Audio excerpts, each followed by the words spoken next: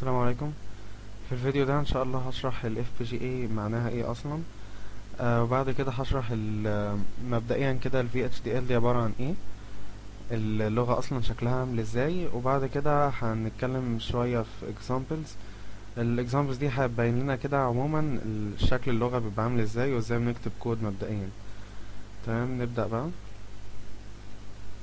هنا عندنا دي شكل ال FPGA دي عبارة عن إيه كده؟ دي عبارة عن kit ال kit دي يعني كده زي ما إحنا شايفين عبارة عن board كده وعليها شوية ICs هنا ال IC الكبيرة اللي في النص دي هي دي ال FPGA بتاعتي اللي هي عبارة عن إيه؟ Programmable Gate Array. آه ودي هنتكلم عنها شكلها عامل إزاي من جوه؟ ال slide اللي جاية إن شاء الله. هي بقى متوصلة بال kit دي بإيه؟ متوصلة ب ICs كتير بتساعدها إنها تشتغل. زي مثلا الحاجات دي ممكن نلاقي في memory آه هنا مثلا دي LCD لو أنا عايز أطلع output أرسمه. شوية الحاجات دي كده عبارة عن interfaces يعني مثلا هلاقي حاجة زي كده ممكن توصل لي بشاشة مثلا. طبعا ال interface دي ممكن توصل بحاجات كتير جدا. آه هنا برضو في switches عشان لو أنا عندي مثلا آه كود هعمله بحيث إن ال inputs بتاعته تبقى عبارة عن آه ضغطات على ال switches دي. ممكن هنا نلاقي LEDs عشان إيه آه برضو ناخد عليها output يبقى حاجة كده بس بتنور عشان تورينا إن في output بس من الآخر ال kit دي يعني آه هي عبارة عن آه شوية interfaces لل FPGA آه يعني ممكن أدخل inputs وأطلع outputs عشان بس أجربها. طبعا هي مش لازم ال FPGA تبقى كان كده نازلة على ال kit. هي ال kit دي بس كده تتعمل علشان الناس اللي عايزة تجرب applications. إنما ممكن ال FPGA كده تتاخد لوحدها آه وتحط بقى في أي دايرة زي ما أنت عايز. ال FPGA دي بقى شكلها عامل إزاي من جوه؟ هي عبارة عن حاجة اسمها logic block ال logic block ده ممكن نفكر فيه دلوقتي إنه عبارة عن شوية logic gates متوصلة ببعض وشوية flip flops آه تمام. متوصلين بقى آه بينهم وبين بعض بحاجة اسمها ال interconnections ال interconnections دي عبارة عن wires وال wires دي في النص فيه multiplexers إيه بقى ال multiplexers دي؟ هتعمل إيه؟ هي هتختار هل ال wire ده متوصل بال block ده ولا لأ. تمام. طالما أنا كده دلوقتي أقدر أتحكم بال wires متوصلة بال blocks ولا لأ يبقى أنا ممكن أعمل ال function اللي أنا عايزها. يعني مثلا أنا دلوقتي مثلا عايز أعمل and or invert. ال and or invert دي دايرة فيها اتنين and gates وواحد or gate وواحد not. فمثلا نقدر نقول إن مثلا يعني الاتنين ال lookup tables دول أو logic blocks دول عبارة عن أو بيعملوا ال function بتاعت and gate. يبقى ده بيعمل and gate مثلا وده بيعمل and وده مثلا بيعمل or وده بيعمل invert. يبقى أنا هعمل إيه الكود بتاعي؟ الكود بتاعي هيوصل ده ال output بتاع ده وال output بتاع ده على ال OR gate عن طريق ال connections دي وال multiplexers اللي جوه. وبعد كده يوصل ال output بتاع ال OR gate دي على الإنفرتر. بعد كده يوصل ال output بتاع الإنفرتر ده على ال pinات اللي هي ال output وبرضه ياخد ال inputs بتاعت ال AND gates دي ويوصلها على pinات وال pinات دي هتبقى هتبقى input آه تمام. ده كده ال FPGA آه هو بيشتغل إزاي؟ طبعا في تفاصيل أكتر من كده. يعني logic block ده حاجة اسمها lookup table دي ممكن نتكلم فيها باستفاضة بس قدام. آه بعد كده بقى الكود بعد بعد ما بنكتبه على الكمبيوتر آه بننزله ونوصله بسلك معين بيتنزل على ال kit دي. آه فالكود ده هينزل يعمل إيه؟ هيبدأ آه يختار لي ال multiplexers دي. هتوصل آه انهي lookup table أو انهي logic block بأنهي logic block تاني. إيه بقى ال VHDL نفسها؟ ال VHDL دي عبارة عن لغة بتوصف ال hardware يعني إيه لغة بتوصف ال hardware يعني اللغة دي بتوصف توصيلات. بتوصف توصيلات إزاي؟ يعني زي ما قلنا مثلا دايرة ال and or invert ادي كده مثلا عندي دي كده اتنين AND gates ودي كده OR gate ودي كده انفرتر فال VHDL هتعمل إيه؟ هي هتوصف لي التوصيلات ما بين دول عاملين إزاي. وده إحنا اتكلمنا عليه في ال في ال chapter اللي فات. تمام؟ طب هي بت describe ال hardware يعني هي hardware description language مش بت describe software يعني إيه مش بت describe software يعني مش بتوصف آه مش توصف برنامج بيشتغل. إحنا عارفين البرامج وهي بتشتغل بتشتغل sequential يعني إيه بتشتغل sequential آه يعني بتنفذ ال operations ورا بعض. تمام؟ يعني مثلا لو كنت أنا عايز أعمل حاجة زي كده sequential كنت هقول إيه؟ كنت مثلا اخلي أول سطر ده يعمل إيه؟ يعمل anding للاتنين inputs دول وال anding للاتنين inputs دول. وتاني سطر يعمل or لل output بتاع ده وال output بتاع ده. وآخر سطر يعمل not لل output ده. تمام؟ آه طيب دلوقتي آه نفترض مثلا عندنا هنا كده دول أربع inputs ال outputs متصلين على ال OR gate وهنا واخدين ال output ده على ال not. طب نفترض دلوقتي إن إحنا عندنا هنا ال input ده كده اسمه A وهنا كده B وده C وده D وإحنا دلوقتي لو نشتغل في كود عادي زي C مثلا وقلنا أول سطر بيحسب لي ال and بتاع A و B و C و D. تمام؟ بعد كده دخلنا على تاني سطر يحسب ال or بتاع ال output ده وال output ده. طب نفترض وأنا هنا في تاني سطر ال input اللي هو C ده مثلا كان ب zero وتحول ل one يعني اتغير. تمام؟ طب لو هو ال input ده كده اتغير وأنا لسه هنا في السطر ده وبحسب ال or بتاع الاتنين outputs دول.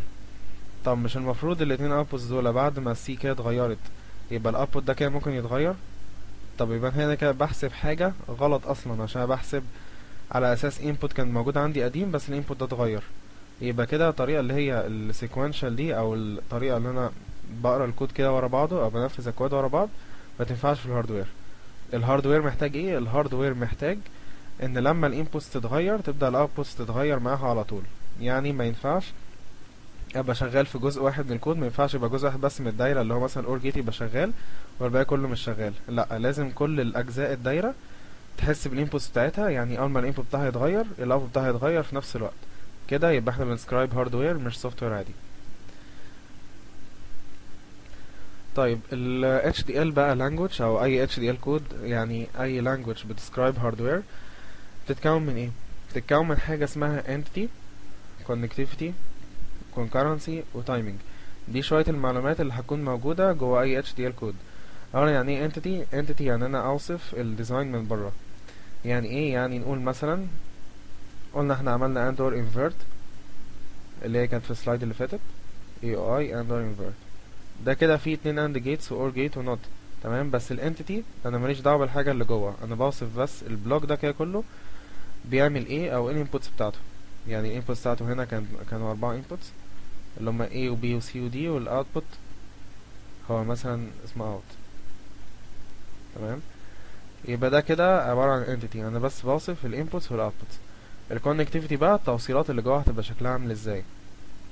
ال concurrency ده اللي إحنا اتكلمنا عليه قبل كده اللي هو لما جزء من الدايرة ال input بتاعه يتغير بتاعه ال output بتاعه يتغير في نفس الوقت. يعني إيه؟ يعني مثلا لو إحنا قلنا الكلام ده كده قلنا هنوصفه ب hardware description language يعني برضو أكيد هتبقى سطور برضو بتتكتب. بس قلنا هنا ال sequential language كان كل سطر بيتنفذ ورا التاني. إنما بقى في ال hardware description language لا. هيبقى عندي مثلا ثلاث سطور. برضو سطر هنا بيوصف ال AND هنا سطر بيوصف ال OR وهنا بس سطر بيوصف ال invert هنا بقى علشان المفروض كل سطر من دول أو كل block من دول يتنفذ لوحده يعني يتغير على أساس ال input بتاعته في نفس الوقت يبقى لازم كل سطر دول ملوش دعوة بالتاني. يعني مش ده يتنفذ الأول بعد كده ده بعد كده ده. لا لازم كل واحد يتنفذ لوحده. يعني كل واحد يتنفذ لوحده يعني ده كده. على طول شغال على طول بياخد inputs ويحسب ال outputs في نفس الوقت ده برضه شغال بياخد inputs ويحسب outputs مش شغالين ورا بعض لا كل واحد شغال لوحده. ده كده اسمه concurrency. ممكن نفكر فيها إنها زي parallelism يعني. طب ال timing يعني الدوائر طبعا عندنا مفيش حاجة اسمها إن أنا أول ما ال input ده إيه يتغير ال output هنا هيتغير على طول. هنا ال AND gate دي أصلا المفروض هي عبارة عن بتتكون من ستة transistors جوه. فال transistors دي عبارة تعمل switching فهي محتاجة time فال time ده اللي هو ال delay آه لازم برضه هيبقى موجود عندي في الكود هيتوصف جوه الكود يعني. تمام؟ ده اللي إحنا قلنا عليه إن إحنا بندخل propagation delay و timing information. وأي HDL بتساعدنا إن إحنا نعمل حاجة اسمها structural implementation. يعني إيه structural يعني أنا لما هاجي أبني الدايرة آه مثلا and or invert دي قلنا بتتكون من شوية ال شوية ال AND gates وال OR وال invert طيب ممكن افترض ال AND gate دي برضه هي عبارة عن دايرة لوحدها كده اللي هي اتنين inputs وواحد output. تمام؟ ال structure بقى implementation إن أنا هاخد كده الدايرة الكبيرة اللي هي and or invert وأكونها من شوية دوائر صغيرة اللي هي هنا كانت AND gate وهنا كده AND برضو وهنا ال OR وهنا كانت invert وشوية الدوائر دي برضو أبدأ أوصلهم ببعض. يبقى كل كل دايرة من دول هي عبارة عن إيه؟ عبارة عن entity برضو زي المربع الكبير ده ولها inputs و outputs أبدأ أوصلهم ببعض. ده كده اسمه structural implementation. آه دي كده أول طريقة. تاني طريقة اسمها behavioral description. إن أنا بدل ما أعمل blocks أوصلها ببعض إن أنا بس أشرح ال blocks دي بتشتغل إزاي. وهو الكود بتاعي أو البرنامج اللي هو ال synthesizer اللي هو بيترجم الكود ل hardware فعلا. ده يبدأ يفهم المعادلات أو المعادلات التوصيفية اللي أنا كتبتها ويحولها ل hardware ده كده ال behavior يعني أنا بوصف ال behavior بتاع ال circuit وعلى أساسها بطلع ال circuit نفسها. هنا برضو ممكن نوصف ال operations في ال HDL codes بنوصف ال operations يا إما في ال gate level أو ممكن برضو في ال RTL level في ال gate level يعني برضو بوصف كده آه زي الحاجات دي اللي هي ال AND وال OR وال invert آه وال RT level إن أنا ممكن بوصف على levels أعلى من كده زي ال counters آه مثلا أو ممكن إيه ال ALUs وحاجات أكبر. وال HDL برضو بتساعدنا إن إحنا نعمل آه توصيف هرمي للدايرة بتاعتنا. يعني إيه توصيف هرمي؟ يعني مثلا الكود الكبير كده بتاعي ده كده يبقى الكود الأساسي للدايرة كلها. والكود ده مثلا بي include هنا كده آه codes تانية. الكود ده مثلا بيوصف دايرة أصغر وممكن الكود ده برضو بي آه معاه كود تاني بيوصف دايرة أصغر وكل كود من دول برضو واخد جواه files تانية كل file من دول بيوصفه دوائر أصغر وهكذا. يبقى الدوائر دي مثلا لو قلنا إن ال file ده مثلا بيوصف AND gate يبقى مثلا ال file اللي بعديه ده ممكن مثلا بيوصف اتنين AND gates متوصلين ببعض اللي هما اتنين دول مثلا يعني. ودي مثلا file بيوصف OR gate هنا أو مثلا ده OR gate و inverter مثلا بيتوصفوا مع بعض في file واحد يبقى هما دول كده مع بعض. يبقى ده كده ال file الكبير بيوصف توصيل الكل دول مع بعض. يبقى إحنا ممكن نرتب ال files بتاعتنا بشكل هرمي. طيب ال HDL codes دي hardware description languages. في منهم أشهر نوعين أو تقريبا مفيش غيرهم اللي شغالين بيهم دلوقتي. هما ال Verilog وال VHDL طيب إيه الفرق ما بينهم؟ هما الاتنين برضو بيوصفوا ال hardware بنفس الطريقة. بس الفرق ما بينهم هيبقى في syntax و semantics. ال syntax يعني ليها زي grammar مختلف. يعني إيه grammar مختلف؟ يعني ليها طريقة كتابة مختلفة. ده كده ال syntax إنما ال semantics يعني الجمل نفسها اللي إحنا هنكتبها ممكن يبقى ليها معاني مختلفة ما بين ال Verilog وال VHDL هي ال Verilog تعتبر أسهل من ال VHDL في طريقة الكتابة عشان هي آه، شبه ال C شوية. دلوقتي بقى هنتكلم على مكونات الكود بتاع ال VHDL قلنا في الأول بيتكون من entity دي كده أول حاجة اللي قلنا عليها اللي هو الشكل ال block من بره. دي كده كانت أول حاجة. تاني حاجة بقى ال architecture إيه ال architecture ده؟ ده بقى توصيف الحاجة اللي جوه اللي هي زي ما قلنا مثلا لو كنا بنتكلم على AND OR invert يبقى هنا مثلا هنوصف ال AND OR invert دي شغالة إزاي؟ إن هنكتب هنا إن في AND gates و OR gates و inverters ونوصلهم ببعض. يبقى ال entity ده كده بوصف الشكل من بره وال architecture بوصف الحاجة اللي موجودة جوه.